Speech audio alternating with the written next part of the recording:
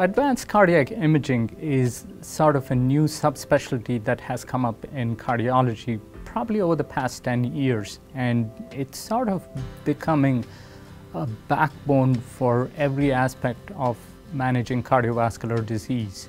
So in advanced imaging, what we do is use in addition to the echocardiography or the nuclear imaging that we have used for many years, we have now started using MRIs, CT scans, and PET scans to get a more in-depth assessment of a patient's heart disease.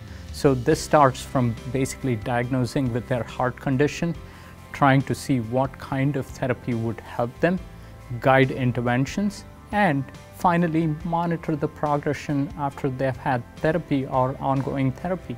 So it encompasses the entire spectrum of managing cardiovascular disease and we tailor this to every patient.